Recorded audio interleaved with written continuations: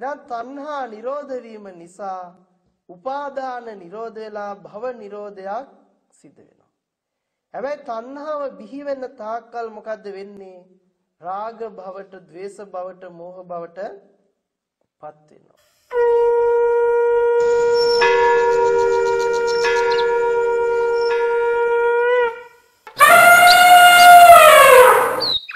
තෙරුවන් සරණයි පින්වත් ඔබ දැන් ධර්මයක් ශ්‍රවණය කළා.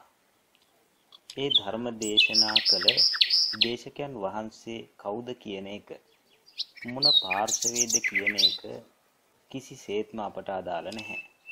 නමුත් උන්වහන්සේ දේශනා කළ ඒ ධර්මය අපට අදාළයි. ලෞතර බුදුරජාණන් වහන්සේ අප වෙනුවෙනුයි ලෝක සත්‍ය වෙනුවෙනුයි ධර්මයේ දේශනා කළේ. ඒ දේශකයන් වහන්සේ දැන් දේශනා කළා තණ්හා නිරෝධයෙන් උපාදාන නිරෝධ වෙලා භවය නිරෝධ වෙනවා කියලා. ඒ වගේම තණ්හාව ඉතිරි වුණොත් උපාදාන වෙලා භවය හටගන්නා බවත් සඳහන් කළා. හොඳයි. මේක තමයි බුද්ධ දේශනාව. මෙතනදී මේ භවය කියන කාරණය හොඳට තේරුම් ගන්න ඕනේ. පටිච්ච සමුප්පාදයේදී භාග්‍යතුන් වහන්සේ දේශනා කළේ කාම භවය, රූප භවය, අරූප භවය ගැනයි. භවය ගැන අර්ථ දෙනකොට ධර්මයේ සඳහන් වෙනවා විභංග ප්‍රකරණේ 246 වන පිටුවේ. පැහැදිලිව දක්වලා තිබෙනවා භවය කොටස් දෙකකට බෙදලා. එක කර්ම භවය. දෙක උප්පත්ති භවය. කර්ම භවය කියන්නේ පුඤ්ඤාභි සංකාර, අපුඤ්ඤාභි සංකාර, ආනෙන්ජාභි සංකාර.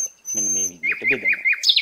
තවදුරටත් උත්පත්ති භවය කියලා කියන්නේ කාම භවය, රූප භවය, අරූප භවය මේ විදිහට කොටස් තුනකට බෙදනවා. ඒකම තමයි ආයමත් ඒකවෝකාර භවය, චතුවෝකාර භවය, පංචවෝකාර භවය කියලා කියන්නේ.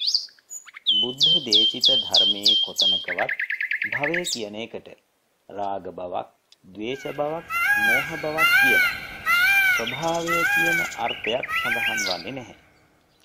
ස්වභාවය කියන අර්ථය භව කියන pāli පදයේ තුල නැහැ. ඒ සඳහා යෙදෙන pāli පදයේ වෙන්නේ භාව කියන pāli පදය. මේ දේශකයන් වහන්සේ දෙන අර්ථය බුද්ධ දේශිත ධර්මයට පටහැනි විකෘති අර්ථයක්.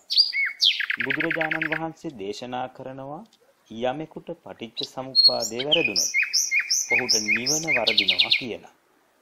එහෙනම් ඔවුන්ට නිවන වැරදුනා නේද?